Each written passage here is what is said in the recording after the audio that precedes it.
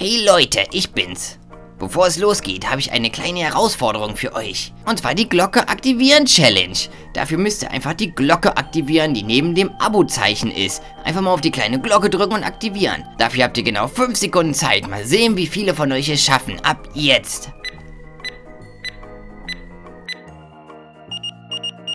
So, wir werden das mal später auswerten bei uns im Detektivteam.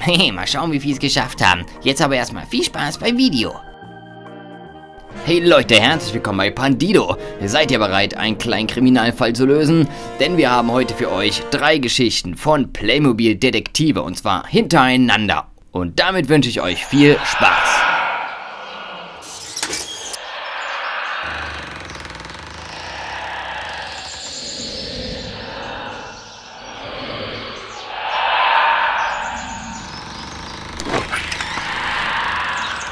Aha, das ist also das gefürchtete Gruselhaus der alten Hexe.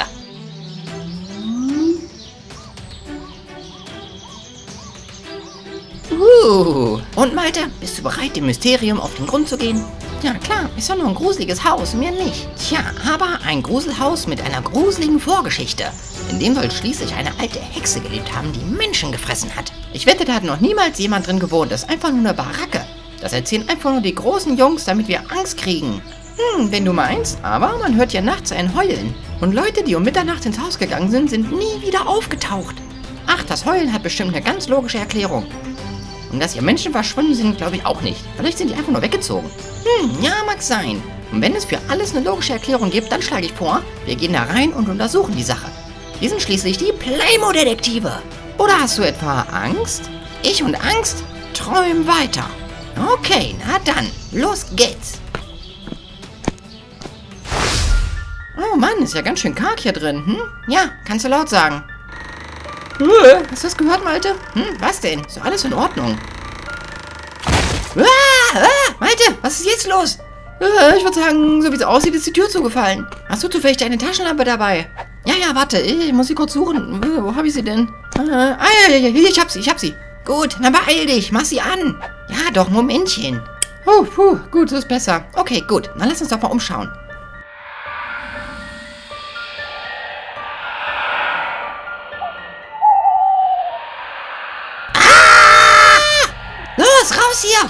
Mir, Malte! Ist gut, ich bin direkt hinter dir. Ah! Ah! Oh, okay, das sollte weit genug sein, oder Malte? Malte? Malte? Kumpel, wo bist du? Malte! Oh mein Gott, ich habe Malte verloren. Nein, der muss wohl noch in der Nähe der Hütte sein. Okay, ich gehe zurück.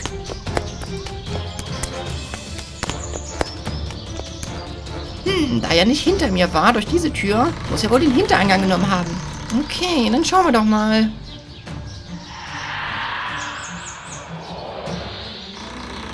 Malte, Malte, hey, bist du noch da drin? Malte, bist du hier irgendwo? Malte! Hm, ich glaube irgendwie nicht, dass er noch hier ist. Und da die Tür offen ist, muss er wohl rausgerannt sein. Nur wohin ist die Frage? Hm. Oh, Nanu, was ist denn das? Aha, das sind ja Kartoffelchips. Und zwar Maltes Lieblingssorte, wie ich sehe. Haha, ich hab's. Die muss er für mich ausgelegt haben, damit ich ihm folgen kann. Hat er bestimmt von Hänsel und Gretel. Na gut, dann werde ich das auch mal tun. Ich komme, Kumpel, halt durch. Okay, wenn ich der Chipspur folge, sollte ich ihn auf jeden Fall finden. Auch seit irgendwann Hunger bekommen, keine mehr ausgelegte. Oh, wie lange noch? Huch, was ist denn hier los? Oh nein, nein, die Tiere haben die Chips gefressen. Oh, wie soll ich ihn jetzt finden? Los, weg mit euch. Tschü, tschü, weg, weg. Na prima, das war's jetzt mit der Spur. Was mache ich denn jetzt? Wie soll ich ihn noch finden? Huch, Nanu, was war denn das? Oh, die Taschenlampe. Hm, was es damit wohl auf sich hat. Hm, das ist definitiv Maltes Taschenlampe. Ja, genau, hier hat er ja seinen Namen reingeritzt. Okay, das heißt wohl, er wird in diese Richtung weitergegangen sein. Ich beeile mich lieber. Hui, ich weiß gar nicht, ob ich richtig bin. Wo bin ich hier überhaupt? Äh, Malte, kannst du mich hören? Hm, nee, er scheint da nicht zu sein. Na gut. Da muss ich jetzt nach richtigen Spuren suchen. Zum Glück habe ich immer Papas Lupe dabei. Damit sollte es klappen. Ich finde dich schon, Kumpel. Keine Sorge. Der erste Detektiv gibt nie auf.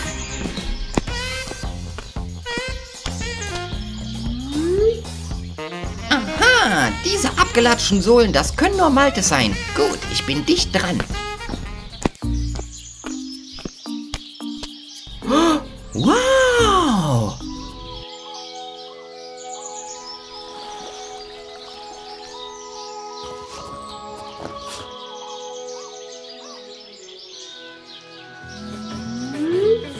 Aha, Malte, da bist du ja endlich.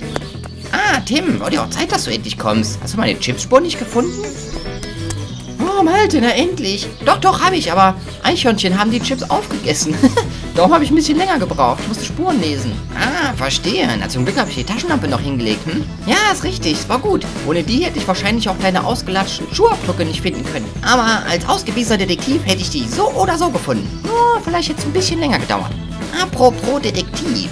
Schau mal hinter dich. Hm? Was ist das? Das ist wohl eine alte verlassene Jagdhütte. Ich schätze mal, da drin liegt Zentimeter dicker Staub. Ich glaube, da war ewig keine mehr drin. Das wäre doch ideal für uns, oder? Hm, ideal für was? Na, warte. Lass uns mal reingehen. Wow, wie cool. Aha, sage ich doch. Dieser Unterschlupf wäre doch perfekt für unsere neue Detektivagentur. Detektivagentur? Oh yeah, das ist eine super Idee. Gut gemacht, Malte. Okay, vom heutigen Tage an ist das hier unsere persönliche Geheimzentrale. Unsere Detektivagentur. Haha! Auf uns, Detektive! Der neue Porsche Targa. Jetzt auch mit Sitzheizung. Wow, cool. So ein Teil will ich später auch mal fahren. Nicht so eine Klapperkiste wie Papa hat. Oh, Betty, was ist denn los? Ach ja, ich muss ja noch mit dir rausgehen. Na gut, Betty, dann wollen wir mal. Komm, ich leine dich eben an. Gut, fertig. Papa, ich gehe noch mal mit Betty raus. Ja, ist gut. Aber pass auf, ist schon dunkel draußen. Ja, mach ich. Alles klar, Betty, los geht's. Ah, ah, Betty, nicht so schnell, nicht so schnell. Bisschen langsamer. Hui, hu. Betty, Betty, nun zieh doch nicht so. Betty, stopp mal. Wir machen jetzt hier mal eine kurze Pause, okay? Hui, Mann, oh Mann, oh Mann. Ganz ruhig, Betty, ganz ruhig. Schön stehen bleiben. Hä? Nanu, wo sind wir denn jetzt hier gelandet? Was mich denn hingezogen?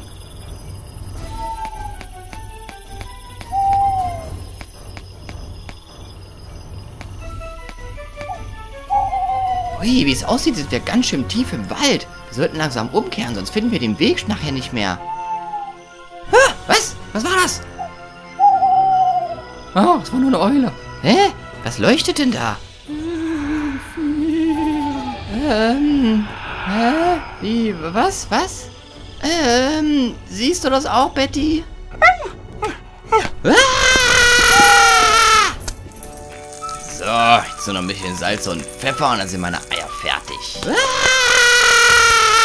Papa, Papa, Papa, Papa, Papa. Hä? Was ist denn los? Papa, Papa, ich war gerade im Wald und, und da war ein Alien, es leuchtet. Ich hab's ganz genau gesehen und, und es hat gerufen so, so etwas wie Hilf mir. Immer mit der Ruhe, Sohnemann. Ich hab dich ja kaum verstanden.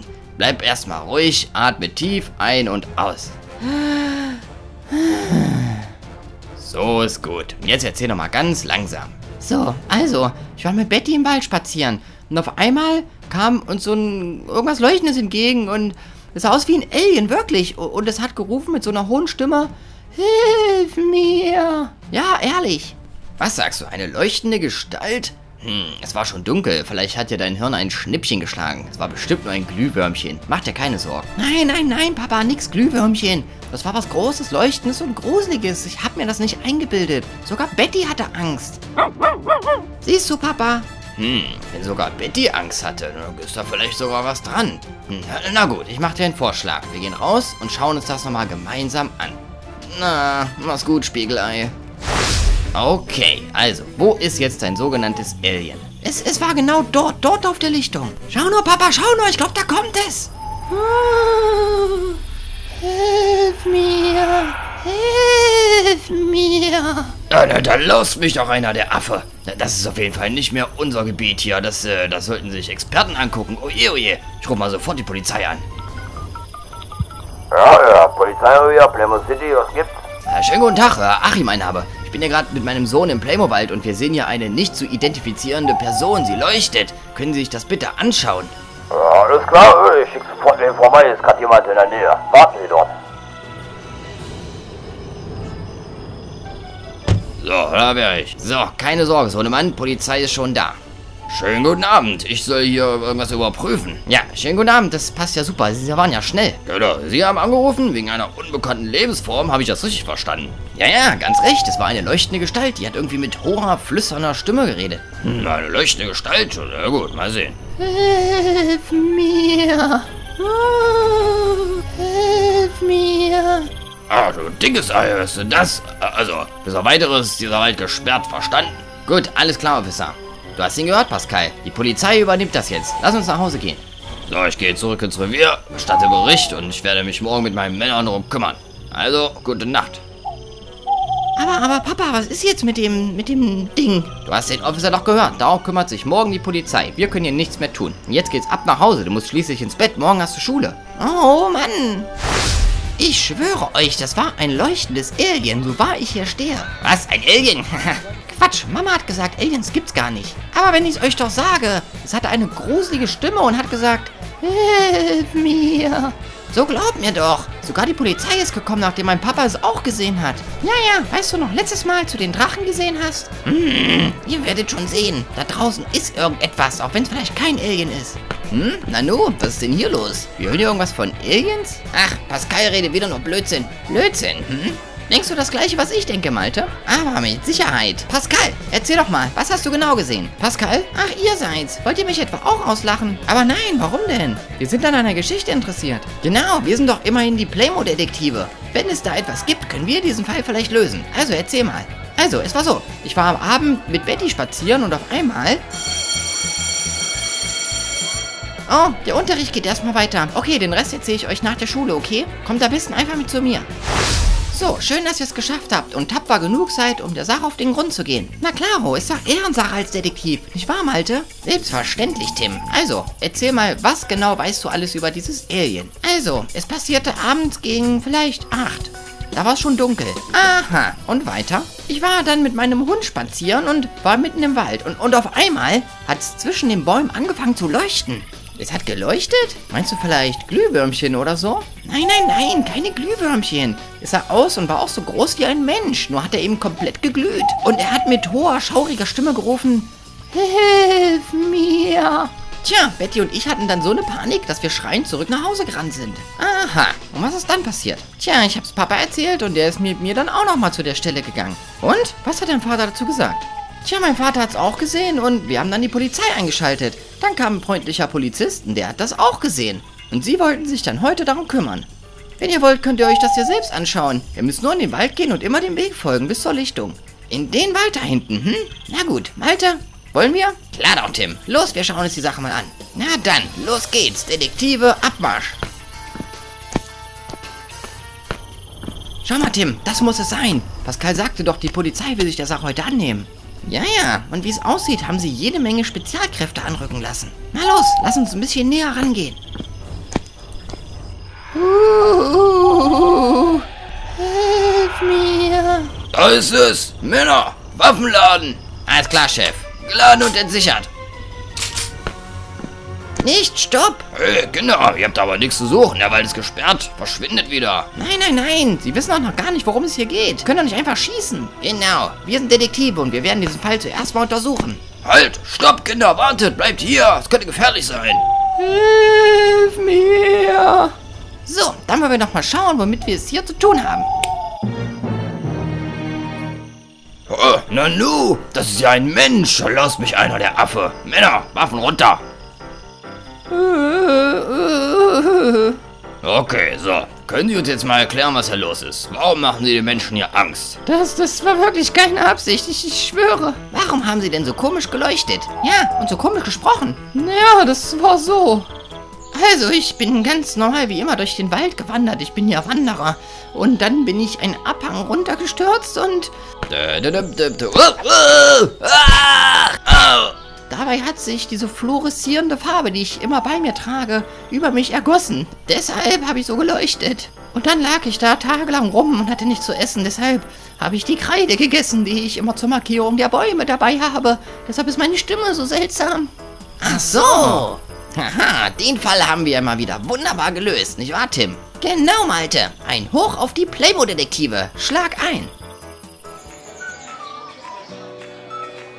Juhu! Kommt, lasst uns alle Fußball spielen. Okay.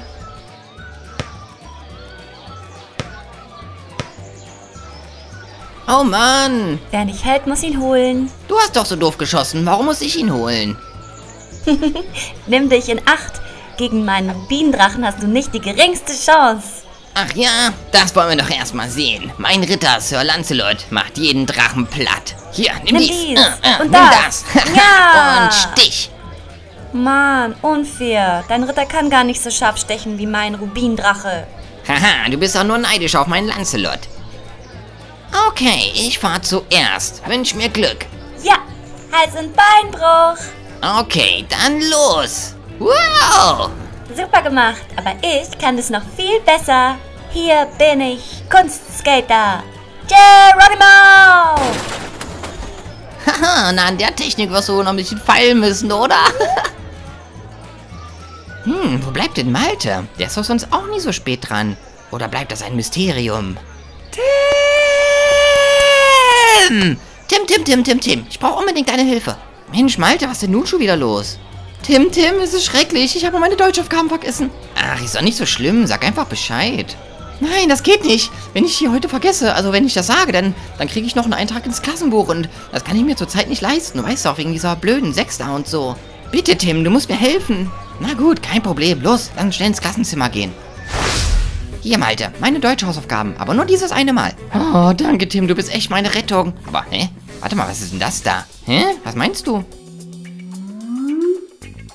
Oh, ein Liebesbrief. Oh, mal sehen, was drin steht. Hey, Finger weg, der ist für mich. Hä, was willst du denn? Der lag doch definitiv auf meinem Platz. Überhaupt nicht, der lag auf meinem. Naja, hilft ja alles nix. Ich muss ihn lesen. Mhm, mhm, mhm, mhm. Und Tim, nun sag schon, für wen ist er? Ähm, keine Ahnung. Hier steht nicht für wen und auch nicht von wem. Oh Mann, wie sollen wir denn jetzt jemals rausfinden, für wen er ist? Oder von wem? Na, was wären wir denn für Detektive, wenn wir das nicht rausfinden würden? Und zwar in der Pause. Juhu, endlich Pause. Okay, Tim, los, dann direkt starten. Können wir gerne machen. Ich sehe da nur ein Problem. Aha, das wäre? Naja, ich wusste gar nicht, dass wir so viele Mädchen hier haben.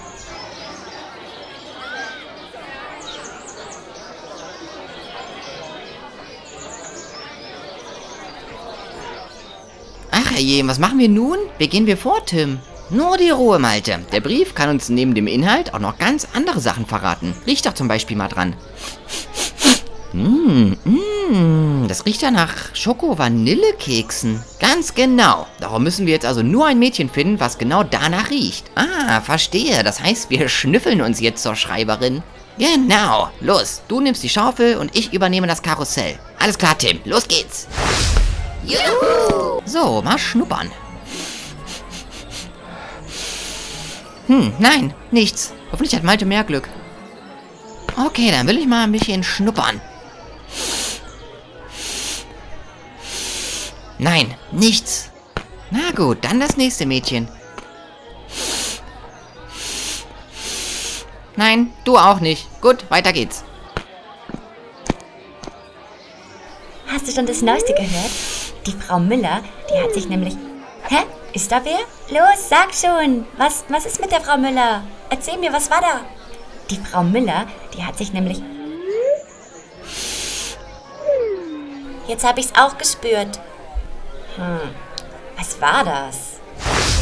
Nichts, Tim, nichts. Kein einziges Mädchen roch nach Schoko-Vanillekeksen. Oder hattest du mehr Glück? Nein, leider auch nicht. Aber ich habe noch eine Idee. Aha, ich bin ganz ohr. Was schlägst du vor? Na, wir haben dann noch den Brief an sich. Da könnten wir die Handschrift vergleichen. Hm, keine schlechte Idee, aber womit willst du sie denn vergleichen? Lass das mal nur meine Sorge sein. Hey Mädels, habt ihr mal eine Minute für mich? Ja, was ist denn, Tim? Ich sammle gerade Unterschriften, damit wir die Pausenzeiten verlängern können, um noch mehr Spaß zu haben. Wie sieht's aus? Macht ihr mit? Ja, na klar. Gute Idee. Hey Mädels, Frau Knospe hat mich geschickt. Sie möchte, dass ihr aufschreibt, wo ihr den nächsten Bannertag verbringen wollt. Also, schreibt mal eure Wunschziele drauf. Hey Mädels, wenn ihr hier unterschreibt, dann kriegt ihr lebenslang Nagellack. Ja, ja klar, warum nicht? Cool, da mache ich mit. Ja, lass mich auch unterschreiben. Aha, hier ist ein geschwungenes L, okay, und hier, dieser I-Punkt sieht auch sehr merkwürdig aus. Da bin ich wieder. Und, hast du was bekommen? Klar, hier. Das ist genug. Oh Mann, da sitzt ja die ganze Pause dran. Tja, da würde ich mich an deiner Stelle mal ranhalten. hopp, hopp. Na gut, was soll's. Ich will ja auch wissen, von wem der ist. Hm, nein, der nicht. Auch nicht. Nein. Was denn? Willst du mir sagen, keine Handschrift stimmt überein? Nein, wirklich nicht. Keine Übereinstimmung. Was machen wir nun? Aufgeben? Niemals! Wir sind doch die Pandido City Detektive. Ich habe noch eine Idee. Wir könnten das mal mit dem Briefpapier versuchen. Schau mal, hier ist ein Herzchen drauf. So welches hat bestimmt nicht jeder. Hey, schreibt einer von euch zufällig auf Herzchen Briefpapier? Nee. Mm-mm. Hey ihr, kennt jemand von euch zufällig jemanden, der mit diesem Briefpapier hier schreibt? Nein. Nein. Mm-mm. Nein. Mm-mm. Meine sehr verehrten Damen, würden Sie uns bitte einen Teil Ihrer Zeit opfern? Was ist denn, Leute? Wir wollten nur kurz fragen, ob jemand dieses Briefpapier hier kennt. Schreibt zufällig jemand darauf? Ich kenne das nicht. Von euch jemand? Nein. Aber ich kenne es. Echt? Wirklich? Juhu! Endlich ein Anhaltspunkt. Hast du den Brief zufällig auch geschrieben? Nein, ich schreibe doch sowas nicht. Aber meine Freundin Annie, die hat so ein Briefpapier. Die solltet ihr mal fragen. Aha, Anni also. Danke. Ähm, hallo? Wer von euch ist denn Anni? Anni? Ja? Na nu, Anastasia. Ach, du bist Anni. Was, von dir ist der Brief? Welchen Brief meint ihr denn? Na, von diesem Brief hier. Der lag heute auf unserem Tisch und wir wissen nicht, von wem er ist. Bis jetzt. Ein Brief? Lass mal sehen. Ah, das Briefpapier erkenne ich wieder. Das hat mir Fräulein Knospe nämlich geschenkt. Fragt die doch mal. Vielleicht kann sie euch helfen. Fräulein Knospe also. Aha, höchst spannend. Gut, wir sind der Sache auf der Spur. Los, lass sie uns fragen. Ja, das Briefpapier, das habe ich fast jedem Mädchen gegeben, das gern Briefe schreibt. Nein! Jetzt haben wir wieder keine Spur. Oh Mann, das war ja die totale Pleite. Ja, das kannst du laut sagen, Malte. Geben wir jetzt unseren Beruf als Detektive auf? ich weiß auch nicht. Ähm, Entschuldigung, Hä? Ja? Was ist denn? ich habe hier heute Morgen einen Brief abgelegt und hatte gehofft, eigentlich eine Antwort zu bekommen. Hm, was meinst du, Malte? Ist es sie? Sag mal, ist dieser Brief hier von dir? Oh mein Gott, warum habt ihr den denn? Der war doch gar nicht für euch, sondern für die Person, die hier sitzt. Aber, aber wir sitzen doch hier. Und zwar schon seit der zweiten Klasse. Oh nein, der Brief war doch für Andreas. Na okay, dann schreibe ich ihm eben einen neuen. Ah, schade, der Brief war also nicht mal für uns. Na gut, immerhin hat sich der Fall jetzt doch noch geklärt. Puh. Tja, er hat sich wohl eher von alleine geklärt, oder? Ja, mag sein, aber wir haben dennoch gute Ermittlungsarbeit geleistet. Schlag ein. Haha, die Katzen der Nachbarschaft sind wieder sicher. Wenn ihr mehr spannende Abenteuer von Pandido TV sehen wollt, dann abonniert unseren Kanal links oben auf dem runden Panda-Logo. Und zum direkt weiterschauen, klickt auf eins der beiden Videos rechts im Bild. Na dann macht's gut, Leute.